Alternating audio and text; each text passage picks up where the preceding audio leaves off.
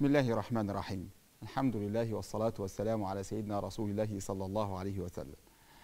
من رحمة رب العزة سبحانه وتعالى بعباده في الأحكام التكليفية أن الله تبارك وتعالى يخفف عن الذي لا يستطيع.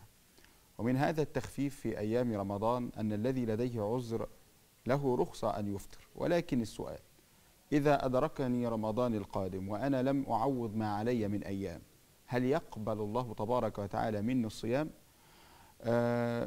يعني قضاء الأيام هو دين لله ودين الله تبارك وتعالى أحق بالأداء. لكن من أدركه رمضان القادم ولم يستطع أن يقضي ما عليه من أيام فإن الله تبارك وتعالى يقبل منه صيامه.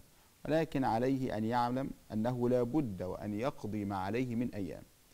يعني مثلا المرأة التي كانت ترضع المرأة الحامل أصحاب الأمراض والأعذار والسفر آه وهنا نقول أن الذي لم يستطع أن يقضي ما عليه من أيام بسبب عذر يعني أصابه عذر زي المرأة الحامل ثم أدركها الرضاع فلم تستطع أن تقضي إلى أن أتاها رمضان القادم فهذا عذر فعليها أن تقضي ما عليها من أيام فقط.